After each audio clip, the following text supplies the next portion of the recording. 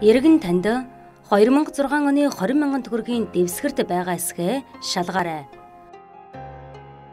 Учир нь 2022 оны 3 дугаар сарын 1-ээс уг мөнгөн дэвсгэртээр төлбөр тооцоо хийхийг зогсоож байгаа тул шинэ мөнгөн дэвсгэртээр солиулж авахыг анхааруулж байна. Энэхүү мөнгөн дэвсгэртийг хэрхэн таних вэ?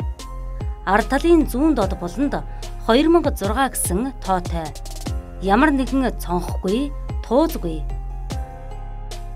Та арилжааны болон Монгол банкны альж салбарт очиж уг мөнгөн дэвсгэртийг солиулах боломжтой. Дорнот аймаг дахь Монгол банкны салбар